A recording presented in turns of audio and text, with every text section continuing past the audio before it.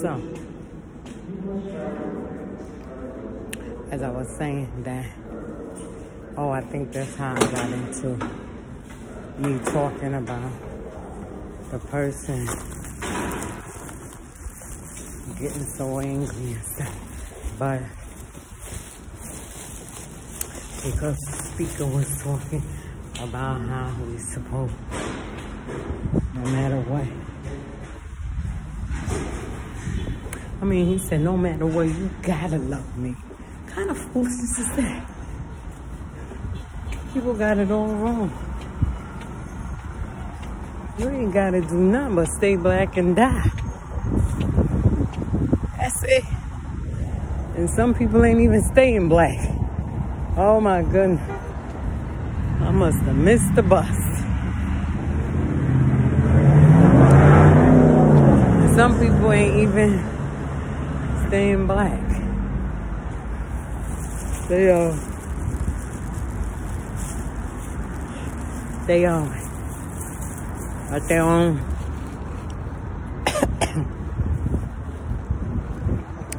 skin colors. Let me see.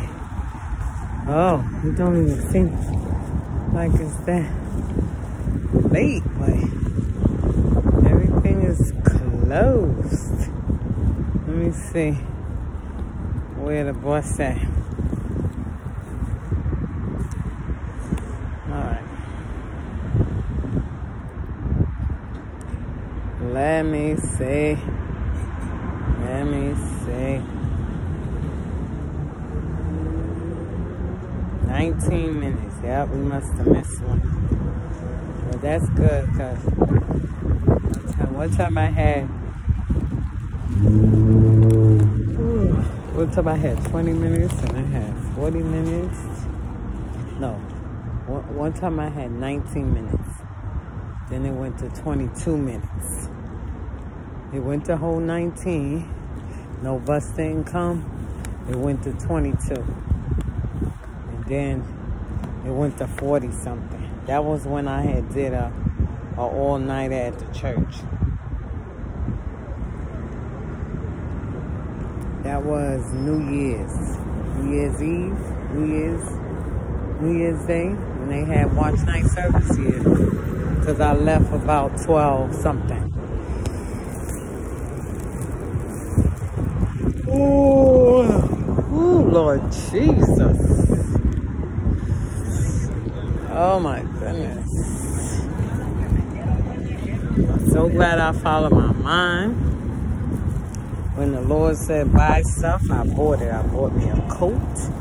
Bought me two coats. Yes, I did. I was inside Mandy's. That's the second coat I bought. The first coat I bought from H&M. It was a parka. Well, it's nice and thick. You know? Oh, oh. oh sorry, sorry. Time for a scarf, all that stuff. Sweater underneath this. I never wore a sweater. I put a shirt underneath this um sweatshirt. But I think I got another one that's a little bit thicker than this. But anyway, my mind told me to put that one on. But anyway, I um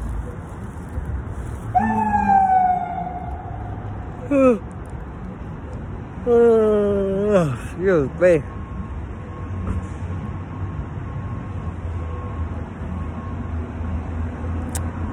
So the the as I was saying, the speaker, I'm gonna upload this. I'm gonna upload his message, and look for it. It's gonna be entitled "No Matter What, You Gotta Love Me."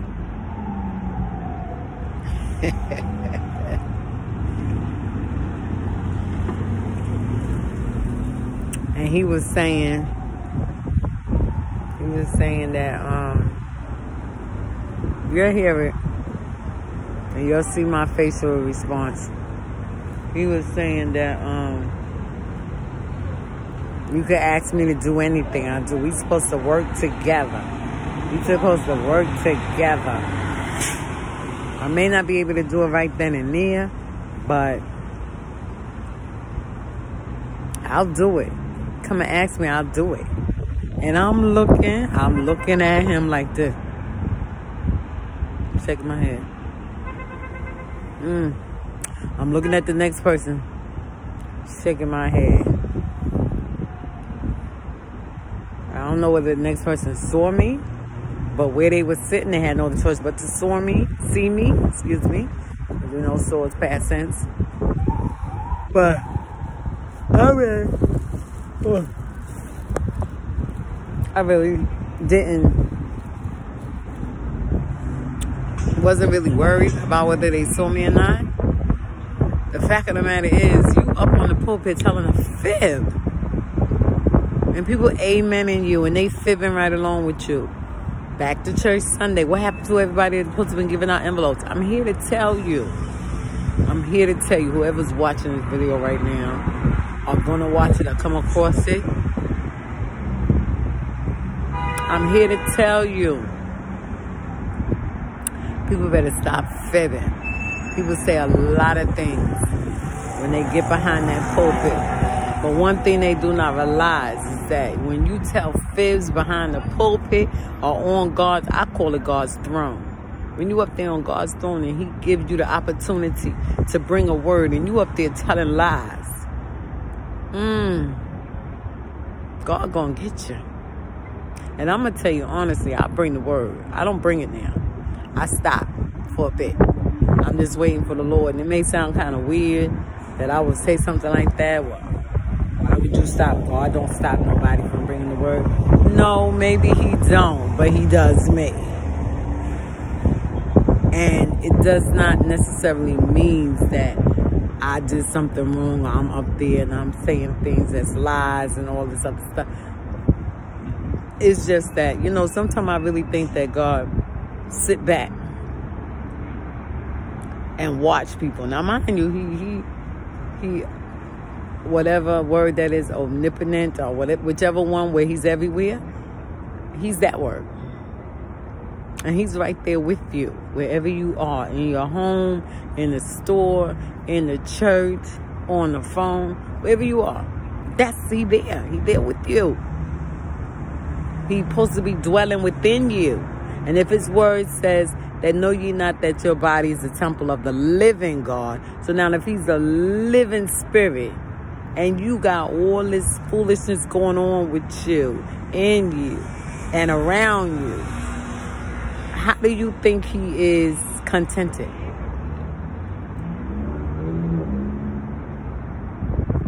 So he right there on that pulpit, sitting up there with them people sitting next to us. His his presence, omnipresent. Maybe that's it. He everywhere.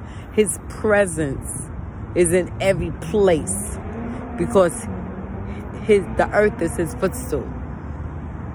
So he, we, I'm standing right here waiting for the bus. He here. He here. I can look up. I can't see him, but he see me. Wherever you at, he's there with you, just like he's here with me. So that's what I'm saying. People get up there and telling fibs. You talking about you, I'm here. We got to work together. What? Uh, mm. And, and, and, and, and I'm going to say this. It really hurts my spirit. I don't know what I should say. It grieves the spirit. But I know one thing. It hurts me to hear people say things like that, and I'm the one who's experienced it. Correction. I'm the one who is experiencing it. You talking about you gotta work together. You see my hair flying? Do you see it? It's no joke out here. No kind of joke. It's cold. it's full. Oh. Oh. I drank that chamomile tea and my body's relaxed and ready to get up in its bed. But You, how? How you say such a thing? How? Sometimes I, I can overlook it. I put my head down and I'll shake my head. I'll say, help, Lord. But there there's sometimes when people say things that is a downright lie. I got to look at them and tell them. It's like somebody going to say to me, because we was talking one time, and they was saying that the saints should be able, the, the saints should counsel those that first get saved, you know, be interested in what's going on with them instead of just leave them. They get saved and they just leave them. So they were saying to the person that was saying that, oh, we don't just leave them. We be there. You get saved. You got the word. Do the word. You got the Holy Ghost. The Holy Ghost tell you what to do. We don't need to be following behind you, telling you what to do and all this. And I'm just sitting there and I'm just like, they had, they really got the wrong aspect. They, they really got the wrong concept of what you're supposed to do and how you're supposed to help. They got the wrong concept of help. So I'm listening, listening. So I was like, can I say something? He was like, sure, go ahead. I said, mm, I just, just like because I had to think. I had to think. I wanted to make sure I said it right and I wanted to make sure they understood what I was saying. And I was trying not to be disrespectful, harsh, or um, loud or anything towards the person that was talking. I said, mm. I said, when a person gets sick, they go to the hospital. What? I guess you're gonna hear me. So I had the mask. So I pulled the mask down. I said, when a person gets sick, they go to the hospital. They go to the emergency room. And when they get up in the emergency room, the people that are in emergency room, the doctors and the nurses, they help that person. They do not leave that person there. There are doctors in every field to help each sickness. Every field to help each person. So whatever that person is going through uh, is brought into that hospital for, they go get that doctor for that particular person. And that doctor do not say, no, I'm not going to help him. Because that's his job. That's what he was supposed to do. So with that being said, we as saints is supposed to help people. The word says, for this shall all men know that ye are my disciples if ye have love one for another. It's not this, it's not a guarantee that everybody's going to have love. That's why the if there. That means that it's a conjunction word. They bring in that sentence together. So it's saying, by this shall all men know that ye are my disciples. It's letting you know how people are how people are supposed to know that people belong to God is by the love coming from their heart. Not so much as what they show. That's why God looks at the heart. Because a lot of people profess that they love him and don't, and inside their heart, what he say his heart? Their heart is far from him. So that's why he looks at the heart. So a person on the outward appearance, you paying attention, the man just said it in the train too. The person on the, looking at the outward appearance, oh, he got a good, he dressed, look at him two rats, they go, yeah, I'm running after you. Yo. Uh, so, here from my bus. Oh, he just took the light off, so. Oh no, he still got on. We're gonna see if he come all the way around. It ain't 19 minutes, so he gonna turn and I bet you it be, I won't be surprised, not bet you. I won't be surprised if it turns into um, not in service because the time ain't up yet. It's at six minutes. So unless he come right there and sit, he gonna turn his bus into not in service. Okay, so now I, I'm, I'm telling them that. I said, so therefore, we as Christians is supposed to help people. We are supposed to feel their pain. We are supposed to have compassion for them. They don't have to tell us our business, their business. But if we are in the right place in God, God will tell us what's going on with the person. He will put it in our spirit because we have a connection with him. I said some other things. I said some other things.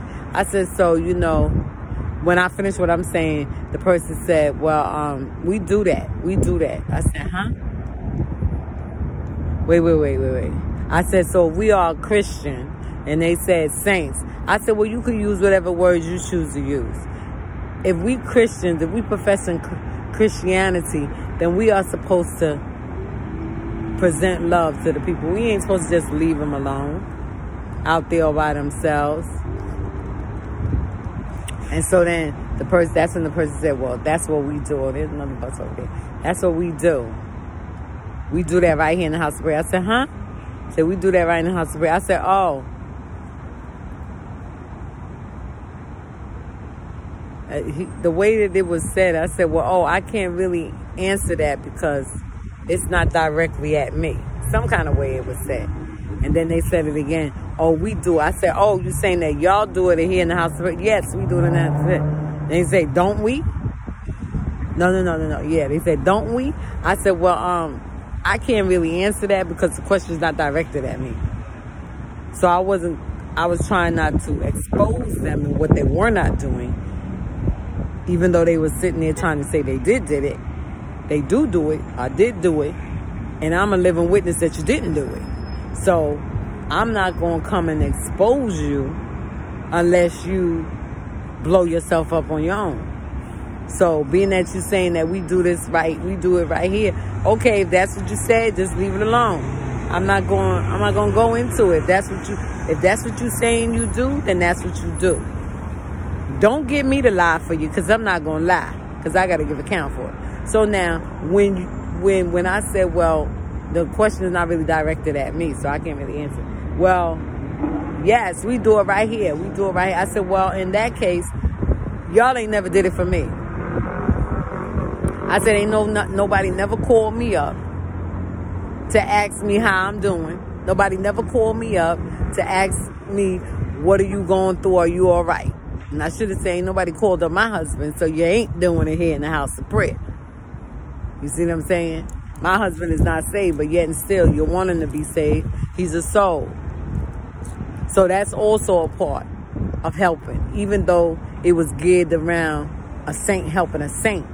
But a saint is supposed to help anyone that's in need. They say if your brother's in need and you shut up your bowels of mercy against them or towards them, how so our Heavenly Father will not do the same to you. So you want to be stingy with your stuff. God will be stingy with his stuff. When you get on your knees and you start praying, Lord, give me this. Can I have this? And he becomes stingy. You want to call him like that. He becomes selfish because he said he's a jealous God. That's my bus. All right. All right, I hit you. I get in the house. Oh.